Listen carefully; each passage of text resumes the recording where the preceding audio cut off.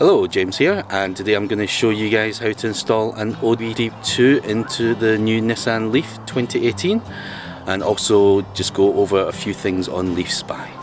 So first thing you need to do is get down to the driver's seat, so pull the seat back and basically you'll see this panel down here. So on here, this panel here, there's two tabs and if you use a key or a screwdriver you can, basically feel the tabs here. So if you get your key and you can rise it there's another tab over this side.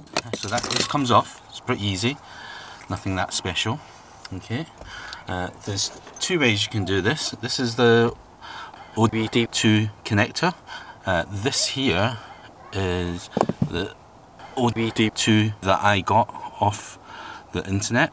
I'll put a link below. So all this does is it basically just sticks on here and that's it. So it's on now.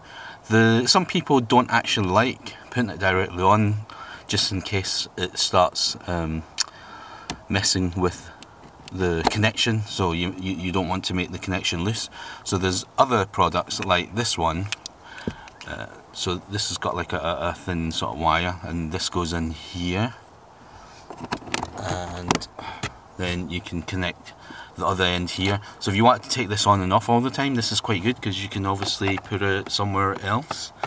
Maybe mount it just under the steering wheel if you want to so you can take it on and off. Or if you don't want to mount it there's actually a gap in here and you can actually just slide it in here the, the wire so it's out of the way while you're driving. So this is what I was doing before because I didn't really want to stick it down. So you can stick it there and it'll just sit there or depending on where your column is you can actually stick it underneath the column as well. Obviously there's a chance of it coming out so it's not ideal. Uh, but yeah so that that's the that's the two options that you have for uh, installing it with an extra cable or directly into the the unit itself. Some people say that you shouldn't actually leave it plugged in because of security issues, and some people do have it plugged in uh, basically it, because it doesn't draw that much power off the 12 volt battery so it's never going to run your battery dry. That's entirely up to you how you guys want to do that. Right so now we're going to look at my phone and we're going to look at leaf spy so this is all the apps that i use. The pro version was 12 pounds and i think it's 20 pounds or just under 20 pounds on the apple store you got to connect to it. So if you come here and select OBD2 and pair a device. So I've already got this paired on Bluetooth already. It will uh, accept 1234 and 0000 on this particular uh, OBD2. You can basically access everything from this screen, including your uh, state of charge, kilowatts remaining, the temperature. So if you click on this spot here, you can either do tire pressure or battery temperature. So this is where you can see what your battery temperature is. Click on the top right hand corner where the three bars is and you hit settings. You will be in the settings screens. I'm not going to change this too much. So obviously you can change it to feet, meters, Fahrenheit, centigrade, PSI bars, etc. for your units. Uh, the main thing to change is the model year. You want to change that to a 40 kilowatt and 2018, just so it will basically read with the car. Otherwise, it'll give, it won't actually give you any battery readings.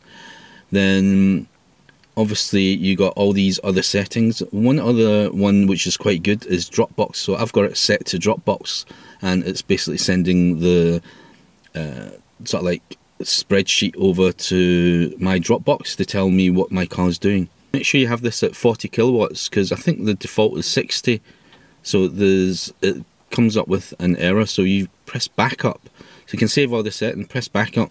And if you hit the restore, you can reload it back in. And let's change that to 60 and restore. And it's basically gone back to 40 with my default settings. Then you got the service screen. So I think the main thing people would be interested is the service screen. If you click on enabled and you hit back on your Android phone, you'll get the service menu. So this is great because you can do sort of like different settings here. including locking and unlocking doors, which is something that I couldn't figure out what how to do. So if you click on this, you will see you can have it automatic lock unlock, unlock only, lock only, and off. So the default was off when I got the car, so it would never lock the car when you start driving off. So I have it set to lock and unlock automatically, and basically uh, out of park or 15 miles an hour. Once you reach that, it'll lock the car. I hope you enjoyed the video. If you liked the video, please hit the like and subscribe, and I'll see you guys next time.